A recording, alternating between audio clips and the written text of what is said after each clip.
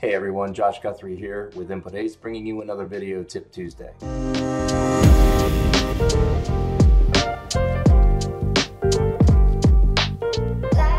In today's tip, I'm going to talk to you about the Interrogate tab and some of the features you'll find in there while you're examining your video. So let's get started. As you can see, I have iNPUT-ACE open and running. I've imported a video into my file list and I've hit the interrogate button and I am interrogating a video. Within the interrogate tab, we have three sections. We have our viewer window up top here. We have our timeline and player controls below. And then we have our file metadata for the file that we're looking at.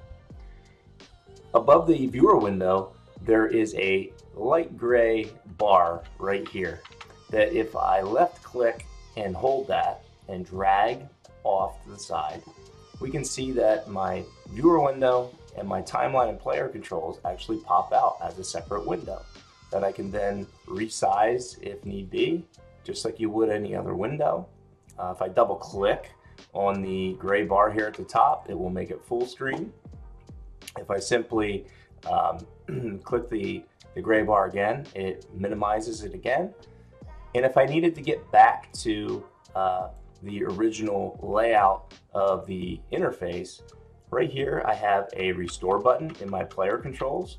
And also here in the workspace, there is a restore bar up here that if I hit either one of those, if I hit the restore button here or here, it takes me back to the original view that I was looking at before I popped the windows out.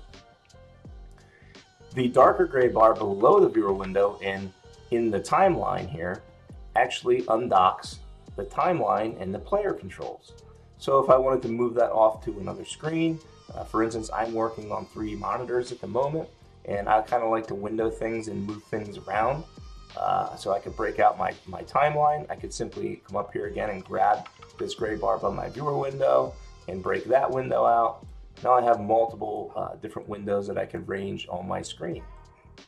Again, to get back to the original, I can hit the restore button or the restore bar here and the restore button uh, in my player controls.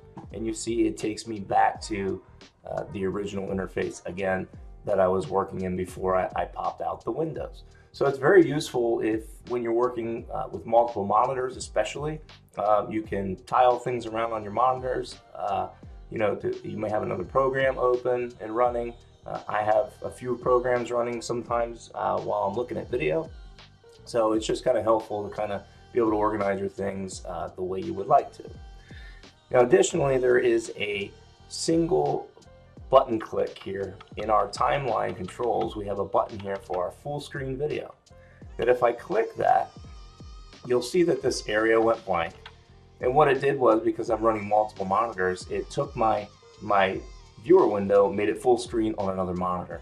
And it would look like this on that other monitor. So you see I have my viewer window and just simply my player controls and timeline. Within this, you could still break out your timeline if you wanted to. And to redock uh, that timeline and player controls, you notice when we're moving our timeline around, two arrows pop up. When I hover my cursor over the lower arrow, a gold band pops up at the lower part of the screen and it will dock my timeline below the viewer window. Same thing at the top here. There is also another arrow that when I hover my cursor over it, I get a gold band and it will dock my player controls above. To get back again to our original interface, we simply click our restore button that's right here and it takes us back to the original interface that we started with. So just some easy controls there for you to uh, maximize your workspace if you want to, to kind of customize it. We have our pop-out windows here, and we also have our full screen, our single-click full screen uh, control for our viewer window.